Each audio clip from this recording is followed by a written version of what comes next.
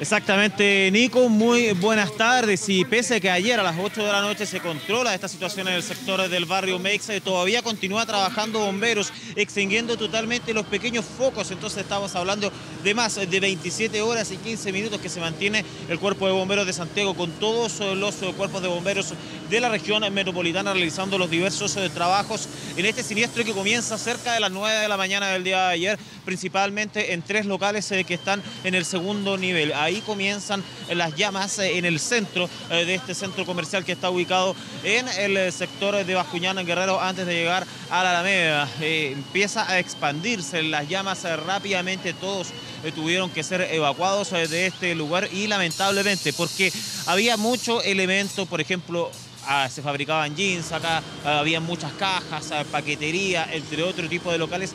Eran elementos que ayudaban rápidamente a la combustión y por eso que las llamas se fueron propagando en más de 20 locales hasta estos eh, instantes. Eh, de hecho, también hubo algunos eh, derrumbes a raíz de este incendio.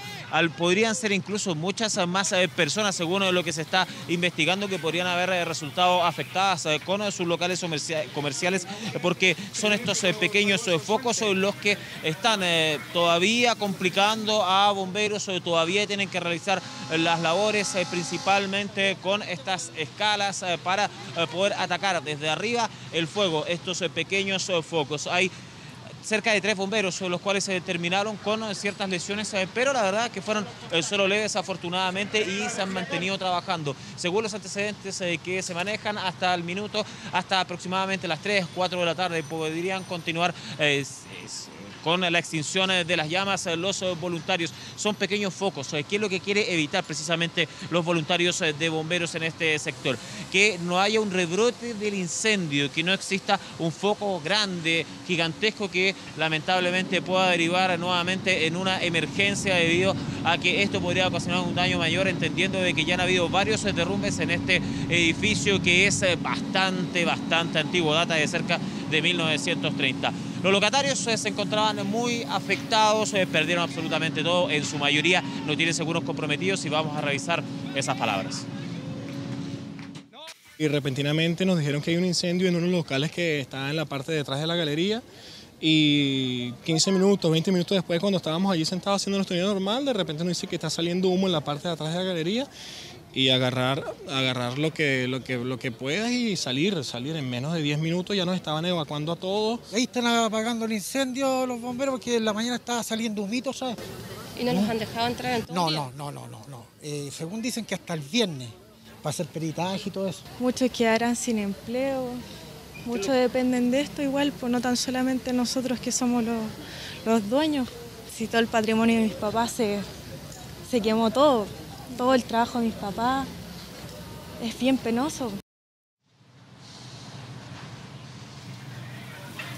Claro, una situación eh, triste o una realidad bastante triste. Fíjense que estos locales eh, que son muy antiguos, nosotros decíamos datan de 1920, 1930 aproximadamente, en su mayoría no tienen seguro y eso es eh, lo más lamentable porque acá mismo tienen bodegas donde guardan toda la mercadería, entonces lo pierden absolutamente todo en este tipo de locales eh, de ropa principalmente, también eh, de venta de regalos, por ejemplo, paquetería, entre algunas otras situaciones. de hecho, se están reuniendo todas las personas, locatarios en los alrededores por estos cortes de tránsito que se están realizando. Salvador Sanfuentes, Unión Latinoamericana, Bascuñán Guerrero, calle Arturo Godoy, al igual que la Alameda. Lo que están esperando que Bomberos eh, finalice todos los trabajos eh, pasadas las 3, 4 eh, de la tarde para poder ingresar y para chequear con la investigación que va a desarrollar también en manos de carabineros en conjunto con bomberos. El laboratorio de criminalística va a estar realizando algunos peritajes y ahí van a poder ingresar todas las personas que se encuentran al interior, que son propietarios que se encuentran al exterior, bien digo, para poder hacer un catastro exacto, para poder ver cuánto fue lo que perdieron. Una situación obviamente lamentable y hasta el minuto se mantienen esos cortes de tránsito eh, para que después eh, de recién estos peritajes que va a realizar eh, Carabineros se puedan habilitar al menos una, una de las pistas de Bascuñán Guerrero. Vamos a revisar las declaraciones que entregó tanto Carabineros y como Bomberos, entregando una actualización respecto a esta emergencia. entre 24 a 30 locales afectados, pero todavía falta realizar. No se olviden que eh, en este sector entre Bancuñán Guerrero y Salvador Sanfuente también se hay una, especie de, galería donde hay más locales y no sabemos eh, qué cantidad de ellos están afectados. Bomberos permaneció haciendo trabajo de remoción y algunos focos que todavía quedan al interior.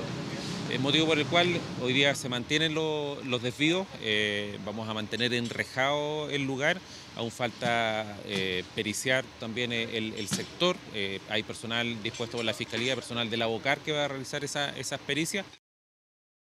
Llevamos más de 27 horas trabajando en el lugar, un incendio de gran magnitud, en este minuto ya tenemos 99% de la superficie extinguida, estamos solamente apagando las últimas fumarolas que nos están quedando al interior. La dificultad está dada principalmente por los edificios antiguos, por los muros de adobe, algunos de ellos colapsaron el día de ayer, tenemos mucha estructura endeble que puede afectar nuestro trabajo, por eso se está actuando con mucha cautela y con mucha seguridad en este último proceso de este incendio. Gran parte de lo que está afectado por el incendio está comprometido estructuralmente. Tuvimos la visita hoy temprano de arquitectos de la Municipalidad de Santiago quienes hicieron un catastro y una evaluación y en base a lo que se pudo conversar con ellos, las estructuras están debilitadas como para decretar demolición. Bueno, de hecho, eso es precisamente lo que preocupa en este caso tanto a bomberos como a las autoridades que se han hecho presentes, como el intendente subrogante de Santiago, de la región metropolitana, eh, también el alcalde Felipe Alessandri, quien vino a monitorear la situación eh, que estaba sucediendo. ¿Qué es lo que puede pasar acá? Hay un peligro inminente de acá al domingo, un peligro muy, muy fuerte de que se pueda derrumbar la fachada, por eso es que se tiene que mantener absolutamente inhabilitada, inhabilitada la vereda oriente de Bascuñana y Guerrero para que ninguna persona pase independiente que habiliten el tránsito. Están en coordinación eh, con eh, carabineros eh, para ver si se habilita una sola pista debido a que está generando algunos problemas obviamente en todo el tráfico vehicular que transita por este sector. Situación que tienen que evaluar además de poder ver posteriormente si es que esto requiere un derrumbe total. Ah, está preocupando, ojo, este tipo de incendios. Nosotros le hemos comentado a finales del 2018 tanto como a inicios de este año que han habido muchos siniestros principalmente en el eje Alameda hasta Estación Central, edificios muy antiguos que hay locales eh, comerciales como en esta situación y que lamentablemente han terminado incendiados con gran acumulación eh, de elementos como cajas, eh, también algunas de las prendas que por ejemplo venden este tipo de locales y que se generan siniestros principalmente por fallas eléctricas derivados a la antigüedad precisamente. Vamos a revisar las declaraciones que entregó tanto el alcalde Felipe Alessandri como el intendente subrogante de la región metropolitana respecto a qué es lo que pasó y qué es lo que va a suceder en los próximos días. Nosotros ahora como municipalidad estamos evaluando los daños a los distintos locales. Estimamos que son cerca de 20 locales los afectados, pero además, como bien decía el comandante de bomberos, aquí eh, son construcciones muy antiguas de adobe que están conectadas entre sí. Entonces ahora cuando se logre extinguir en un 100% el incendio, todavía hay fumarolas, eh, vamos a poder determinar los daños y luego la dirección de obra, yo ya estuve con ellos esta mañana acá, tenemos que evaluar los daños para ver si las propiedades pueden recuperarse. El tema es complejo, estamos trabajando con la comunidad. Nosotros como Intendencia de la región metropolitana vamos a asegurar el perímetro para que no hayan robo ni saqueo. Ya Carabineros con rejas cercó anoche y hay fuerzas especiales cuidando el entorno. Por lo tanto, no vamos a descuidar el barrio. La idea es que una vez que tengamos habilitado y sepamos bien lo que está pasando, habilitar la vereda eh, en el fondo poniente para que esos locales puedan funcionar, pero primero previendo que no vamos a tener derrumbes de los locales afectados. Los dueños tienen un registro, eh, con carabineros lo vamos a chequear, cualquier persona no va a entrar acá.